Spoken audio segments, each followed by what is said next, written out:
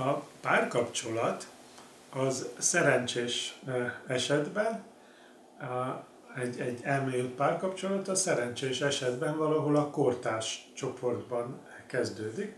Mondjuk Célna azt szerette volna, hogyha ő Rebekával párkapcsolatba kerül, ami nem jött össze, nagy örömömre, mert ha de hogyha összejött volna, akkor megértjük a problémát. Tehát akkor Rebeka mondjuk meddig szólította volna eh, Cérnának azt a fiút, aki az ő párja. És hogyan és mikor változtatott volna át Lajosra.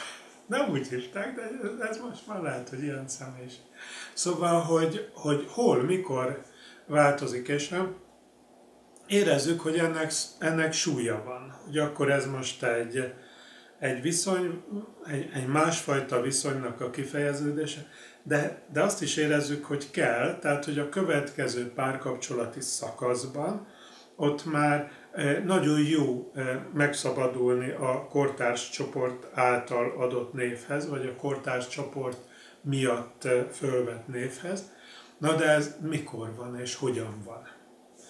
Ez a, ez a fő kérdés, és e, azért e, nyitjuk ezt a, az egész lejátszási listát, mert nagyon érdemes erre odafigyelni, hiszen lesz majd egy olyan életszakasz, ahol ennek döntő jelentősége lesz.